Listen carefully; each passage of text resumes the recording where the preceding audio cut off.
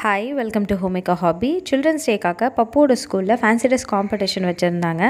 So இதில் பப்பு வந்து solar system costume தான் வந்து டிசைன் பண்ணியிருந்தேன் அவனுக்காக. இந்த சோலார் சிஸ்டம் காஸ்டியூம் எப்படி பண்ண அப்படிங்கிற வீடியோவை நான் கூடிய சீக்கிரத்தில் நம்ம சேனலில் போஸ்ட் பண்ணுறேன் அண்ட் அதோட லிங்க் இந்த வீடியோக்குள்ள டிஸ்கிரிப்ஷன் பாக்ஸில் கொடுக்குறேன். இன்கேஸ் நீங்கள் ஃப்யூச்சரில் வீடியோ பார்க்குறவங்களா இருந்தால் லிங்க்கை கிளிக் பண்ணி பாருங்கள் கண்டிப்பாக வீடியோ இருக்கும்.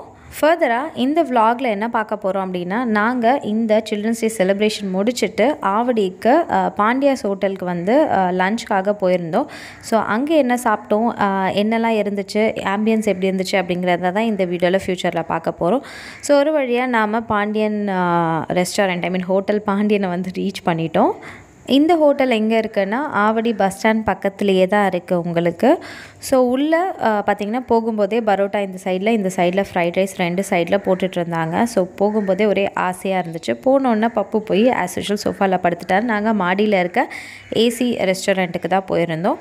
அண்ட் உள்ளே வந்து பார்த்திங்கன்னா ஆம்பியன்ஸ் நல்லா ப்ளீஸிங்காக சூப்பராகவே இருந்துச்சு. அண்ட் இங்கே லன்ச் வந்து உங்களுக்கு வாழலையில் தான் இது பண்ணுறாங்க ஐ மீன் சர்வ் uh, பண்ணுறாங்க ஸோ ஃபஸ்ட் என் ஹஸ்பண்ட் வந்து சிக்கன் பிரியாணி வாங்கியிருந்தார் வாங்கியிருந்தாரு. ஸோ சிக்கன் பிரியாணி வந்து பாண்டியாவில் எப்போவுமே சிக்கன் பிரியாணி நல்லாயிருக்கும். அண்ட் அதை விட மட்டன் பிரியாணி சூப்பராக இருக்கும். ஏன்னா நான் வந்து uh, ஹோட்டலில் சாப்பிட்டதில்ல பட் பார்சல் வந்து வீட்டுக்கு வாங்கிட்டு வந்து சாப்பிட்ருக்கோம் ஸோ அங்கே வந்து மட்டன் பிரியாணி உண்மையிலே நல்லாயிருக்கும். பட் சிக்கன் பிரியாணியும் டேஸ்ட் வைஸ் சூப்பராக இருந்துச்சு. ஸோ பப்பு வந்து uh, சிக்கன் பிரியாணி அவனுக்கு சிக்கன் தான் பிடிக்கும் அப்படின்றதுனால நாங்கள் சிக்கன் பிரியாணியும் ஆர்டர் பண்ணோம்.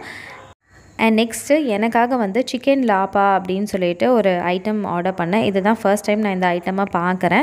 இது எப்படி இருந்துச்சுன்னா பரோட்டாக்குள்ளே வந்து சிக்கன் அந்த கிரேவி வந்து ஸ்டஃப் பண்ணி கொடுத்துருந்தாங்க. ஸோ இதோட டேஸ்ட் எப்படின்னா அந்த கிழி பரோட்டாவோட டேஸ்ட்டும் சம்வாட் அந்த நம்ம மு- முட்டை பரோட்டா கொத்து பரோட்டா இருக்கு இல்லையா?